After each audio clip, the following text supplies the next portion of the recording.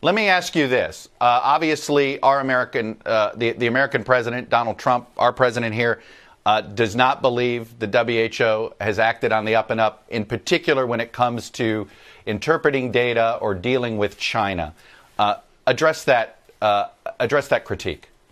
Thanks very much. The World Health Organization actually works on behalf of all the governments in the world, and it operates within mandates that are given to it. And, and we have to rely on information that's received from different governments, and that then permits us to work out what's going on. Uh, we believe that we've had the best information coming to us that, that can come under the current circumstances, and that all uh, recommendations and decisions have been made on behalf of that.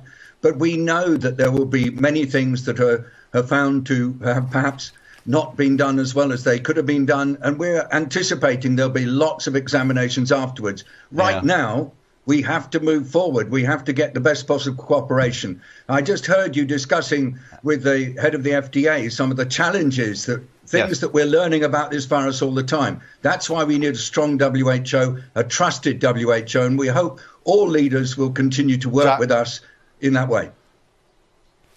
You, you used an interesting phrase here uh, the best information you can get under current circumstances, that seems to be a hint that certain governments are more transparent than other governments. Do you believe China's been honest about the damage this virus did in their country? Um, number one. And number two, if they haven't been honest about that, are you confident they've been honest about the science? So, first, we really do have to work with the information we get. We don't have in the World Health Organization the power to go and inspect beyond what countries tell us. That's been made clear in the treaty that governments agreed in 2005 on how nations work together and how the WHO operates.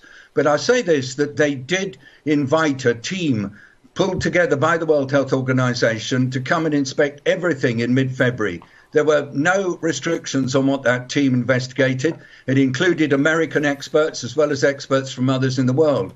So we are trying to be, be clear to everybody that we have been given access to the information we requested. And so therefore I don't like in any at any time to say we don't believe. We believe what we've got, we work with what we've got. That's how we operate in the World Health Organization. Uh, President Trump has talked about withholding funding to the WHO. I believe the United States is anywhere approximately 15 to 20 percent of your annual budget. Uh, how right. devastating would it be if the United States pulled pulled its funding? Well, do you know, we're right in the middle of this massive, epic struggle. Every single human being in the world is affected by it. Businesses are really in trouble. Communities are in distress. I really do hope that all nations will not find any reason to make threats or other such things that will undermine our capacity to bring together all the best knowledge that we can find. And of course, we, we love our partnership with the United States. We've worked with United States scientists for years. I personally have huge respect for what you bring and what you offer. And that would be so unfortunate if anything happened to lessen that cooperation. I know that Tedros, the Director General, has had direct discussions with the President of the US, and he really does trust when trust him when he hears from okay. the president respect for the WHO, and we hope that will go on. We, it's too too important to have anything that disturbs the functioning of the international system at this time. Okay.